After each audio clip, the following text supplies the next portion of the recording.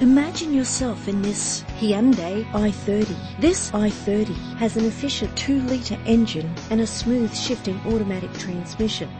The attractive blue exterior is complemented by its stylish interior.